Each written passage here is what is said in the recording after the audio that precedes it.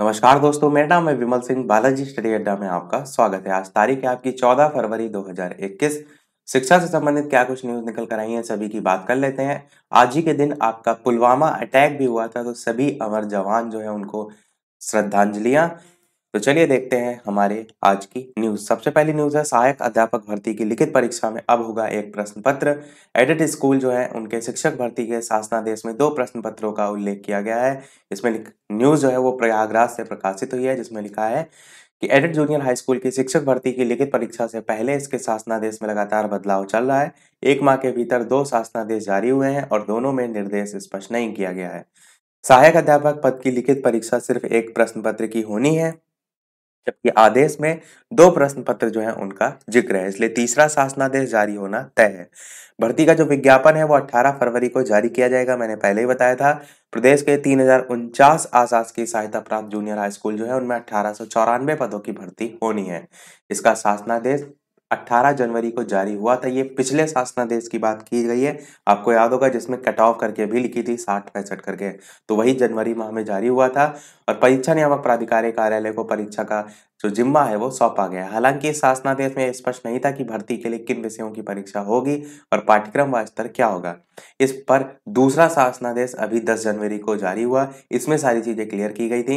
इसमें पाठ्यक्रम और परीक्षा का तो स्नातक स्तरीय जो है, वो बताया गया लेकिन कई बिंदु है, उन पर बड़ी चूक हो गई है। मसलन, एक प्रश्न पत्र की सहायक अध्यापक की लिखित परीक्षा की समय सारणी जारी हुई है, जबकि बिंदु में दो में कहा गया है कि प्रथम प्रश्न पत्र में पचास और दूसरे प्रश्न पत्र में सौ सवाल होंगे। और इसी को ही आगे इस तरीके से भी लिखा है कि परीक्षा संस्थान ने कहना है कि ये सवाल एक ही प्रश्न पत्र के दो खंडों में होंगे।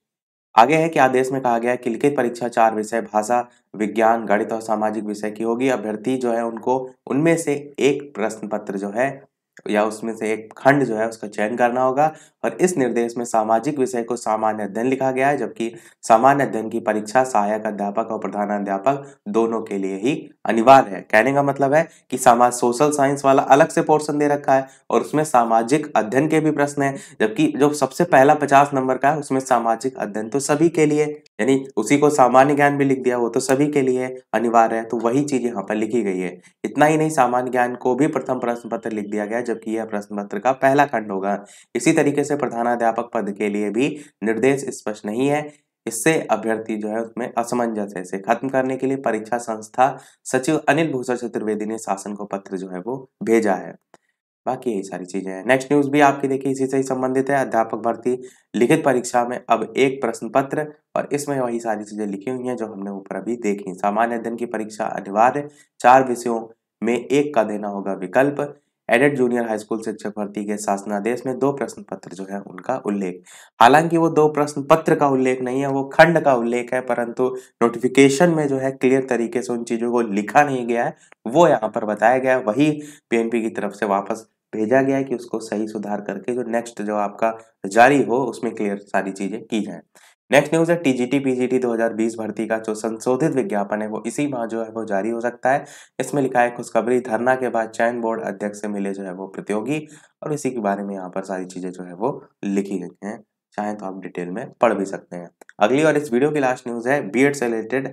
बी संयुक्त प्रवेश परीक्षा जो है, उसके ऑनलाइन आवेदन अट्ठारह से लखनऊ से आपकी न्यूज़ है कि लखनऊ विश्वविद्यालय ने संयुक्त प्रवेश परीक्षा बी एड 2021 के लिए ऑनलाइन आवेदन का विस्तृत शेड्यूल शनिवार को जारी कर दिया। आवेदन जो है वो 18 फरवरी से लेकर के 15 मार्च तक होंगे। विलंब शुल्क के साथ 16 से 22 मार्च तक अभ्यर्थी जो है उनके पास आवेदन करने का मौका रहेगा।